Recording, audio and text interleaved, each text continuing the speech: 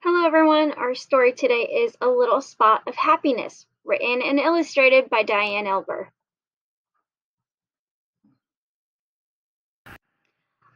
Hi, I'm a happiness spot, and I'm here to help you feel joy and spread happiness to others. Did you know one person has the power to grow hundreds of happiness spots, all with one kind act? Let me show you. It can start with you being kind and helping Jimmy when he falls down. Because you were kind, Jimmy wants to be kind too, so he shares his toys with Lucy. Lucy wants to keep spreading kindness, so she says something nice to Tucker. Your new glasses look great. I love the color red. And the pattern of kindness continues.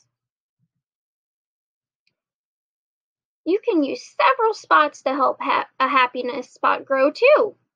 Love, confidence, and peace are some happiness spots I know.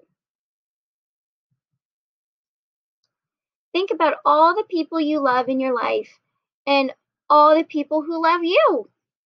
Love can grow a happiness spot. Create art even if you feel you're not good at it. When you create something from the heart, it can be one of the greatest gifts to give. Creating can grow a happiness spot. I made this for you. I am brave. I am loving. I am kind. When you believe in yourself, it is easier to see the good in others. Confidence can grow a happiness spot. Learn how to manage your emotions. When you are calm, it can help you to calm people around you. Being peaceful can grow a happiness spot. Another way to spread happiness is with gratuity. Gratuity is being thankful and showing appreciation with kindness. Try to write three things you are thankful for every day. It's so easy to do, and it can start with your day it can start your day in a positive way. Write a thank you note too. It lets people know that you are grateful for them. Being thankful can grow a happiness spot. Thank you, Mrs. Curtis, for being an amazing teacher. Take time to enjoy all the things around you. Point out all the beautiful things to others, too.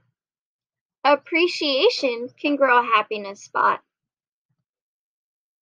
Smile! Making yourself smile tricks your brain into thinking happy thoughts. Go ahead and try it. Did you know when you smile, it makes other people want to smile too? Smiling can grow a happiness spot. Create something new and help others to do the same. Imagination can grow a happiness spot. Take care of the planet. You can recycle or plant a tree. It doesn't look like much now, but every little action matters. Caring can grow a happiness spot. Find a great book. You might learn something new. Use your imagination and experience new places. Reading can grow a happiness spot. Sometimes you just need a reminder to spread happiness. So wear a spot on your hand, and every time you spot me, think of a happy thought and spread happiness. Spot card. How did you grow a happiness spot this week? If you're interested, I've attached the sheet below. Grow happiness, share happiness. Have a great day.